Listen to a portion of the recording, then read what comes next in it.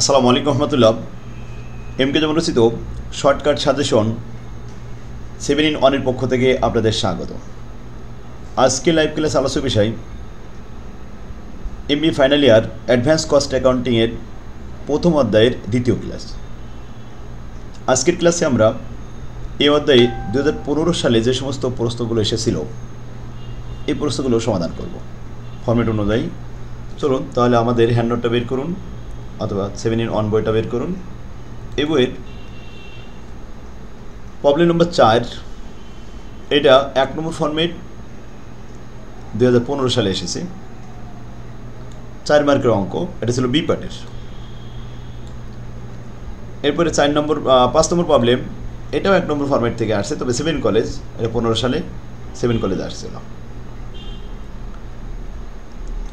ছয় নম্বর প্রবলেম এটা দুই নম্বর ফর্মেট থেকে আসছিল। এটা সি পার্টে দশ মার্কের অঙ্ক, জাতীয় বিশ্ববিদ্যালয় পনেরো সালে। পনেরো সালে এই অঙ্কগুলি এসেছিল। আমরা সবাই সবগুলি আজকে এই ক্লাসে সমাধান করব। এরপরে আমরা ষোলো সাল শুরু করব। ধারাবাহিকভাবে আমরা বোর্ড পরিস্থিতিগুলো সব সমাধান করব ইনশাল্লাহ তো যারা এখনও পর্যন্ত আমাদের বইটা সংগ্রহ করতে পারেননি, তারা সরাসরি আমাদের স্ক্রিনে যে নাম্বারটি দেখতে পাচ্ছেন, এই নাম্বারে যোগাযোগ করুন। বই কোথায় আছে কীভাবে নিতে হবে বা অফিস থেকে আমরা সুলভ মূল্যে আপনাদেরকে পৌঁছে দেওয়ার ব্যবস্থা করব ইনশাল্লাহ চার নম্বর প্রবলেম থেকে আমরা শুরু করি সমাধানটা সবাই বইটা বের করুন, খাতা কলম ধরুন। প্রশ্নে বলা হচ্ছে, Jahangir transport limited operate a fleet delivery truck in Dhaka ঢাকায় জাহাঙ্গীর ট্রান্সপোর্ট লিমিটেডে কিছু ট্রাক আছে, তারা ডেলিভারি দেয় অপারেটিং কাজ করে। The company determine that if a truck is driven fifty thousand kilometer during year যদি কোম্পানি এক বছরে পঞ্চাশ হাজার কিলোমিটার পরিচালনা করে ড্রাইভ করে the average operating cost is দশ টাকা পার কিলোমিটার। প্রতি কিলোমিটারে দশ টাকা ব্যয় হয়। If a truck is driven only thirty thousand kilometer during a year the average operating cost incurs to তেরো টাকা পার কিলোমিটার যদি ওই ওই ওই ড্রাইভার ওই ট্র্যাকটা বছরে তিরিশ হাজার কিলোমিটার চালায়, তাহলে কিলোমিটার প্রতি ব্যয় বেড়ে যায়, প্রতি কিলোমিটারে তেরো টাকা ব্যয় হয়। এখানে প্রোডাকশন কম লো প্রোডাকশন আর উপরেটা হাই প্রোডাকশন রিকোয়ারমেন্টে বলা হচ্ছে using the high low method estimated the variable cost and fixed cost element of the annual cost of the truck operation তাহলে আমাদের হাইলো মেথড অনুসরণ করে ভেরিয়েবল কস্ট পার কিলোমিটার দেখাতে হবে এবং ফিক্সড কস্ট পার ইয়ার এক বছরে ব্যয় কত? ফিক্সড কস্ট এটা বের করতে হবে। আমাদের এই অধ্যায়তে এই variable cost fixed cost cost formula target cost এইগুলি বের করতে হবে। শুধু মেথডটা চেঞ্জ হবে, কিন্তু রিকোয়ারমেন্ট আর চেঞ্জ হবে না। তো হাইলো মেথডে আমরা শিখেছি ভেরিয়েবল কস্টের সূত্র হলো high cost minus low cost divided high production minus low production এক কথায় change in cost change in production তাহলে আমরা এখানে হাই কস্ট পাবো কীভাবে হাই প্রোডাকশনের সাথে দশ টাকা গুণ করলে হাই কস্ট চলে আসবে পাঁচ লাখ টাকা। তিরিশ হাজার কিলোমিটারের সাথে তেরো টাকা, তিন তিনশো উনচল্লিশ, অর্থাৎ এটা গুণ করলে তিন লক্ষ নব্বই হাজার টাকা আমাদের টোটাল লো কস্ট বেরিয়ে আসবে। হাই প্রোডাকশন পেলাম পঞ্চাশ হাজার লো প্রোডাকশন পেলাম তিরিশ হাজার কিলোমিটার। আর হাই কস্ট পেয়েছি পাঁচ লক্ষ, আর লো কস্ট পেয়েছি তিন লক্ষ নব্বই হাজার। হেয়ারে আমরা গুণ করে এটা বের করে নেব, নিয়ে আমরা সূত্রে পোস্টিং দিয়ে ক্যালকুলেশন করে ফলাফল পেয়েছি। এক লক্ষ দশ হাজারকে বিশ হাজার দ্বারা ভাগ করলে পাঁচ টাকা পঞ্চাশ পয়সা পার কিলোমিটার প্রতি কিলোমিটারে ভেরিয়েবল কস্ট পাঁচ টাকা পঞ্চাশ পয়সা। এখন আপনারা এটা খাতা উঠাই ফেলেন। আলহামদুলিল্লাহ, আশা করি বুঝতে পারছেন এটা। দুই নম্বর, এখানে বলছে যে ফিক্সড কস্ট দেখাও তাহলে এর ভিতরে আবার দুই আছে, এর two calculation of fixed cost আমরা যদি টোটাল কস্ট থেকে টোটাল ভেরিয়েবল কস্ট বাদ দিলে ফিক্সড কস্ট চলে আসবে। টোটাল কস্ট আমরা হাই অথবা লো যে কোনো একটা ইউজ করতে পারি। আমি এখানে হাই ইউজ করেছি পাঁচ লক্ষ টাকা। তো total variable cost high production দিয়ে গুণ করতে হবে পাঁচ টাকা পঞ্চাশ পয়সাকে। তাতে আসবে দুই লক্ষ পঁচাত্তর হাজার টাকা। পাঁচ লক্ষ থেকে দুই লক্ষ পঁচাত্তর বাদ দিলে দুই লক্ষ পঁচিশ হাজার টাকা। এটা থাকে ফিক্সড কস্ট আশা করি বুঝতে পারছেন। এবার আসুন cost formula Y equal A plus B X এখানে আমাদের চাওয়া হয়েছে দুই নম্বর রিকোয়ারমেন্ট একটু পড়ি। Express the variable and fixed cost in the form of Y equal A plus B X তাহলে ওয়াই এটা লিনিয়ারের সূত্র। Y equal A plus B X A হলো ফিক্সড কস্ট বি হলো ভেরিয়েবল কস্ট এক্স হলো number of element number of item production item formula দেখাতে বললে আমাদের এক্সের মান প্রয়োজন হবে না। শুধুমাত্র এর মান। দু লক্ষ পঁচিশ হাজার টাকা ফিক্সড কস্ট লিখবেন, আর বির মান পাঁচ টাকা পঞ্চাশ পয়সা ভেরিয়েবল কস্ট এক্সের মান এক্স এস এভাবে থেকে যাবে সমীকরণে এক্স ফর্মুলার এক্স ব্যাস অ্যান্সার হয়ে গেল। আরেকটা রিকোয়ারমেন্ট দিয়ে বলতে পারতো যে টার্গেট কস্ট এত প্রোডাকশন হলে বা এত ড্রাইভ হলে কত টাকা ব্যয় হবে। যেহেতু চার মার্কের অঙ্ক বি পার্টে দেওয়া হয়েছে, তাই রিকোয়ারমেন্ট কমাই দেওয়া হয়েছে। হ্যাঁ নেক্সট অঙ্কটা আসে, আমরা পাঁচ নম্বর প্রবলেমে চলে যাই। তো চার নম্বর শেষ করে এবার পাঁচ নম্বর শুরু করি। এটা দু হাজার পনেরো সালে চার মার্কের আসছিল seven college ADU seven college এটা। প্রশ্নটি বলা আছে আরকেস company total overhead cost at high and low level is given below নেওয়া হলো। এখানে নিচে দেওয়া হয়েছে এপ্রিল মাসে হাই লো কস্ট হয়েছে লো প্রোডাকশন মেশিন আওয়ার সত্তর হাজার লো প্রোডাকশন ব্যয় হয়েছিল এক লক্ষ আটানব্বই হাজার। আর জুলাই মাসে বেশি অপারেশন হয়েছে, তাহলে এখানে এক লক্ষ আওয়ার্স মেশিন আওয়ার কত অপারেটিং চলেছে? এক লক্ষ আওয়ার্স এটা হচ্ছে হাই প্রোডাকশন সত্তর হাজার লো প্রোডাকশন হাই প্রোডাকশন বরাবর হাই কস্ট low production বরাবর low cost. Assuming that the total overhead cost above consist of utility supervision salary and maintenance expense উপরে যে টোটাল ওভারহেড আছে, এটা আগে তিন ভাগে ভাগ করা হয়েছে। কিছু খরচ আছে ইউটিলিটি আর কিছু আছে সুপারভাইজার স্যালারি এবং কিছু আছে মেনটেনেন্স কস্ট দ্য ব্রেকডাউন ভেঙে ফেলতে হবে of this cost at level of seventy thousand and এক লক্ষ মেশিন আওয়ার লেভেল দুইটা খরচকেই ভেঙে ফেলানো হলো, সত্তর হাজার লেভেল এবং এক লক্ষ লেভেলের খরচকে ভেঙে ফেলানো হয়েছে। কী কী বের, ভেঙে ফেলানো, আলাদা বের করা হয়েছে ইউটিলিটি বের করা হয়েছে কত টাকা সুপারভাইজার স্যালারি কত টাকা বের করতে হবে, আর মেনটেনিয়েন্স কস্ট বের করতে হবে। ইউটিলিটি এটা ভেরিয়েবল জেনুইন ভেরিয়েবল বলছে যে উনপঞ্চাশ হাজার টাকা আর এ পাশে সত্তর হাজার টাকা। এটা প্রস্তের ভিতরেই দেওয়া হয়েছে। সুপারভাইজার স্যালারি ফিক্সড ফিক্সড প্রত্যেকটা লেভেলে ফিক্সড থাকে। তার বৈশিষ্ট্য কি? অল লেভেল আর ফিক্সড একই টাকা, চব্বিশ হাজার চব্বিশ হাজার। প্রোডাকশন বাড়ালেও খরচ বাড়বে না। টোটাল খরচ ঠিক থাকবে। মেনটেনিয়েন্স এটা হলো মিক্সড এক লক্ষ পঁচিশ আর এক লক্ষ বাহাত্তর। মিক্সড বলতে আমরা বুঝি, যে খরচের ভিতরে variable cost and fixed cost দুটোই অন্তর্ভুক্ত থাকে, তাকে বলা হয় মিক্সড কস্ট টোটাল ওভারহেড ব্যাস যোগ করে আমরা যা পেয়েছি। Using the high low method, estimated a cost formula for maintenance. এখন হাইলো মেথড অনুসরণ করে আমাদের কস্ট ফর্মুলা দেখা দিবে যেখানে ভেরিয়েবল কস্ট লাগবে এবং ফিক্সড কস্ট দুটোই লাগবে। তারপরে ফর্মুলা দেখানো যাবে।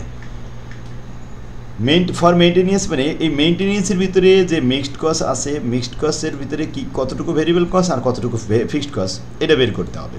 কিন্তু উপরে যে ফিক্সড কস্ট সুপারভাইজার স্যালারি আর ইউটিলিটি এই দুটো আমাদের কোনো কাজ কাজ নেই। কারণ ইউটিলিটি তো হান্ড্রেড পার্সেন্ট জেনুইন ভেরিয়েবল বোঝা যাচ্ছে। এ তো বের করার কোনো প্রয়োজন নেই। আর ফিক্সড কস্ট এটা তো ফিক্সড কস্ট দেখা যাচ্ছে। কিন্তু যেটা মিক্সড আছে, এর ভিতরেই তো দুইটা এলিমেন্ট আছে। এই এলিমেন্টটা বের করতে হবে ভেরিয়েবল কতটুকু আর ফিক্সড কতটুকু, এটাকেই বলা হবে কস্ট এস্টিমেশন এইটাই ব্যয় ফেরাক কালর using the high low method estimated a cost formula cost formula অনুসরণ করে মেনটেনেন্সকে এবার এখান থেকে আমরা ভেরিয়েবল আর ফিক্সড আলাদা করব। ক্যালকুলেশন মেনটেনিয়েন্স এই ওয়ার্কিংটা অবশ্যই না করলে হবে কি জন্য? এটা আমাদের মেনটেনিয়েন্স খরচ দেওয়া ছিল এক লক্ষ পঁচিশ হাজার টাকা আর এক লক্ষ বাহাত্তর হাজার টাকা। সুতরাং এখানে আমি বের করেছি যে টোটাল কস্ট থেকে প্রথমে ইউটিলিটি খরচ বাদ দিয়েছি আর ফিক্সড কস্ট বাদ দিয়েছি, দিলে আমাদের মেনটেনিয়েন্স খরচ নিচে চলে আসছে। অবশ্যই এটা না করলে হতো, কারণ এখানে উপরে দেওয়া ছিল। Utility cost per machine hour rate উনপঞ্চাশ হাজার ভাগ সত্তর হাজার ইউটিলিটি কস্ট প্রতি ইউনিটে প্রতি আওয়ারে ভেরিয়েবল কস্ট পার ইউনিট কত? এটা দেখানো হলো। এটা না দেখালেও হবে, কারণ আমাদের এটা লাগবে না। আমাদের লাগবে শুধু maintenance cost using the high low method এখন হাই কস্ট আর লো কস্ট আমরা এখানে চেঞ্জ করব। Change in cost change in production তো হাইলো ম্যাথড অনুসরণ করে ভেরিয়েবল কস্ট বের করলাম। হাই কস্ট এক লক্ষ বাহাত্তর হাজার লো কস্ট এক লক্ষ পঁচিশ হাজার। শুধু এইটুকু দেখাতে হবে। আর হাই প্রোডাকশন লো প্রোডাকশন এক লক্ষ আর সত্তর হাজার। নিচে বিয়োগ করলাম, তিরিশ হাজার থাকল আর উপর বিয়োগ ফল সাতচল্লিশ। ভাগ করলে one point five six six six অনেকগুলো সিক্সের পরে সেভেন পার আওয়ার এটা হলো ভেরিয়েবল কস্ট এখন আমাদের দরকার একটা ফিক্সড কস্ট টোটাল কস্ট থেকে টোটাল ভেরিয়েবল বাদ দিতে হবে। টোটাল কস্ট হাই অথবা লো যে কোনো একটা ইউজ করা যাবে। আমি হাই নিয়েছি এক লক্ষ বাহাত্তর হাজার। তাহলে হাই প্রোডাকশন এক লক্ষ ইউনিট প্রতি ইউনিটে এক টাকা five six six six seven পয়সা। গুণ করলাম এক লক্ষ ছাপ্পান্ন হাজার ছয়শো সাতষট্টি টাকা, এক লক্ষ বাহাত্তর থেকে বাদ দেওয়ার পরে ফিক্সড থাকে মাত্র সতেরো হাজার তিনশো তেত্রিশ টাকা। এটা হলো ফিক্সড কস্ট আর ভেরিয়েবল কস্ট আমরা পেয়ে গেছি। এবার কস্ট ফর্মুলা এটাই আমাদের রিকোয়ারমেন্ট উই নো দ্যাট আমরা জানি যে Y equal plus B X Y হলো টোটাল কস্ট আর বি হলো এখানে এখানে হচ্ছে এ হচ্ছে ফিক্সড কস্ট পনেরো হাজার তিনশো যেটা আসছে, আর ভেরিয়েবল কস্ট হচ্ছে B one point five six six six seven আর এক্স তো ফর্মুলার এক্স বাস এইটাই আমাদের অ্যান্সার আশা করি সবাই বুঝতে পারছেন। তাহলে এখনই আপনারা সবাই খাতা কলম বের করেন, এটা খাতায় উঠান, মাথা ফ্রেশ হয়ে যাবে ইনশাল্লাহ। এখনকার কাজ এখনই করে ফেলেন। নেক্সট আসেন ছয় নাম্বার ন্যাশনাল ইউনিভার্সিটিতে দশ মার্কের এই অঙ্কটা আসছিল পনেরো সালে। এই অঙ্কের ভিতরে আমাদের একটা কোম্পানির ইন ইনফরমেশন দেওয়া হয়েছে। Weekly first week second week third fourth fifth six ছয় সপ্তাহের ইনফরমেশন দেওয়া হয়েছে। ইউনিট প্রোডাকশন হয়েছিল প্রথম সপ্তাহে চার ইউনিট তারপরে তিন, আট, ছয়, সাত, দুই। এই মোট তিরিশটি ইউনিট উৎপাদন হয়েছিল। টোটাল এক্সচেঞ্জ কস্ট হয়েছিল আঠেরো টাকা, সতেরো টাকা, পঁচিশ, বিশ এবং চব্বিশশো ষোলো মোট একশো বিশ টাকা খরচ হয়েছে। এখন আমাদের নিচে দেখতে হবে কোন মেথড অনুসরণ করতে বলা হচ্ছে। For planning purpose the management would like to know the amount of variable cost and fixed cost variable cost বের করতে চাই এবং ফিক্সড কস্ট দেখতে চাই ফিক্সড কস্ট পার উইক প্রতি সপ্তাহে। Using the least square regression method তাহলে এটা দুই নম্বর ফর্মেট রিগ্রেশন মেথড সেক্ষেত্রে দেখুন ফর্মেট অনুযায়ী আপনি অঙ্ক প্রথমে আয়ত্ত করার জন্য আমার হ্যান্ড নোটটা একটু কাছে রাখতে হবে। একই ফর্মেটের যতগুলো অঙ্ক আছে, সব এক জায়গায় করে সাজাই দিয়েছি, যেখানে একটা অঙ্ক করলে আপনি সব কটা অঙ্ক অ্যান্সার করতে পারবেন। এই জন্য আমার হ্যান্ড নোটটা আপনার খুবই জরুরি। দেখুন, এখন এখানে আমরা রিগ্রেশন মেথড অনুসরণ করে ভেরিয়েবল কস্ট আর ফিক্সড কস্ট বের করব। রিগ্রেশন মেথডের যে সূত্র, এই সূত্রে অ্যাপ্লাই করতে গেলে আমাদেরকে একটা বক্স তৈরি করতে হবে। এই বক্সে নাম্বার অফ ইয়ার সহ সাতটা সাতটা কলাম দিতে হবে। আর যদি নাম্বার অফ ইয়ার এই বা প্রোডাকশন লাইনটা না থাকে, তাহলে ছয়টা কলাম দিলে হবে। তাহলে first week second week third fourth fifth six পর্যন্ত এখানে ছয়টা সপ্তাহ দেওয়া আছে। তাই নাম্বার এনের মান হলো ছয় সপ্তাহ। প্রস্তে আমরা যেটা নিয়ে আসলাম ইউটি এখানে ইউনিটের সংখ্যা, এটা হলো এক্স আর কস্ট হচ্ছে ওয়াই এখন ডিএক্স আর ডিওয়াই ডি ধরতে গেলে, এখানে ডি বের করতে গেলে এক্সের বের থেকে যেখানে একটা মান ধরে নিয়ে আমরা ডিএক্স বের করতে পারব আর ওয়াই ডিওয়াই বের করতে পারব। এটা এই সূত্র না করে যদি আমরা শর্টকাট ডাইরেক্ট মেথড করে থাকি, তাহলে আমাদের সরাসরি এই ডি আর ইউজ করার দরকার হবে না। ডি এখানে শুধুমাত্র এক্স স্কোয়ার আর ওয়াই স্কোয়ার আর এক্স আর ওয়াই গুণফল দেখাতে হবে। তো এভারেজ প্রোডাকশন এক্স আমাদের ওয়ার্কিং করে নিতে হবে নিশ্চয়ই। এভারেজ প্রোডাকশন এক্স এক্সের মান বের করতে হবে। টোটাল প্রোডাকশন তিরিশ ইউনিট সপ্তাহ ছয়টি, পাঁচ সাত তিরিশ, এভারেজে পাঁচটি করে উৎপাদন হয়েছে। Average mixed cost mixed cost হচ্ছে ওয়াই ওয়াইকে ভাগ করব ওয়াই হচ্ছে একশো বিশ, একশো বিশকে ছয় দ্বারা ভাগ করলে এভারেজ মিক্সড কস বা এভারেজ ওয়াইয়ের মান পাওয়া যাবে। এটা এক্সের মান, এটা ওয়াইয়ের মান। এখন ডিএক্স এর মান কীভাবে বের করলেন দেখেন?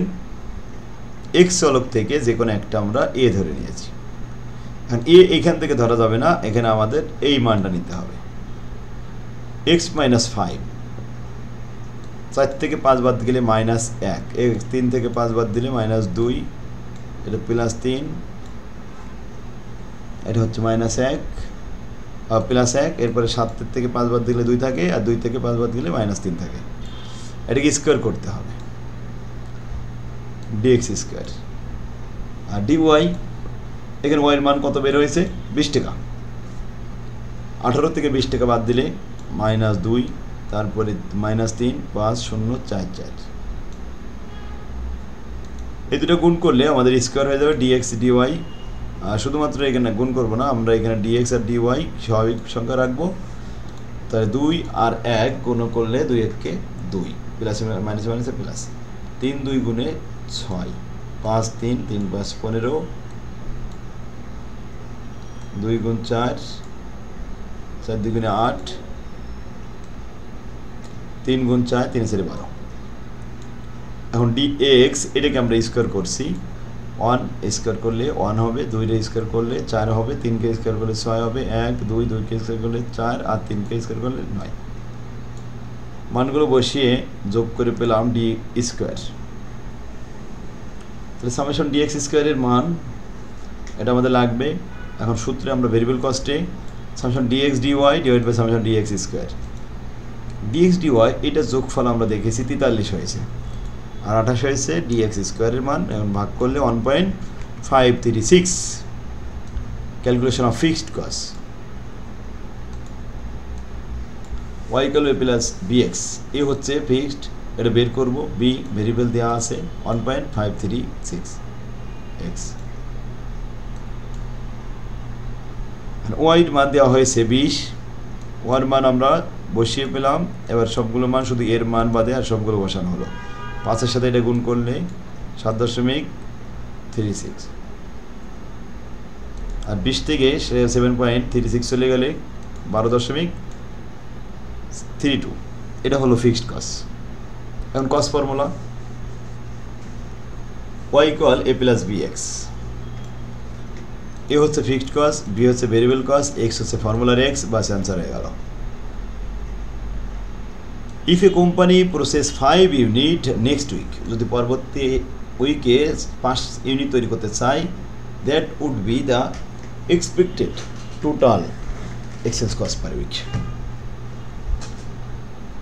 তাহলে আমাদের টার্গেট কল দেওয়া হয়েছে যে পরবর্তী সপ্তাহে যদি পাঁচ ইউনিট হয়।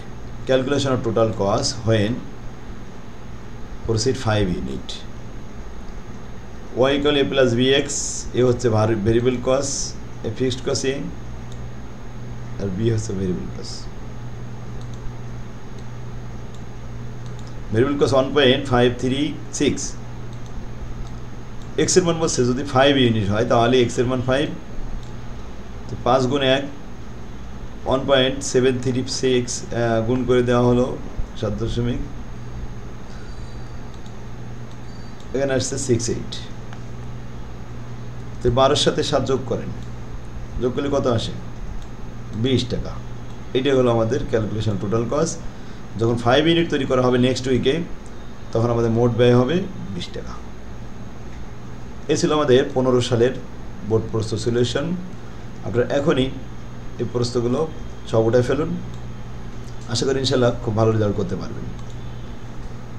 তো এরপরে আমরা ষোলো সাল আগামী ক্লাসেই করাবো। আজকে পনেরো সালেরগুলো সব প্র্যাকটিস করে ফেলুন। আমার তৌফিকুল্লাহ আসসালামু আলাইকুম।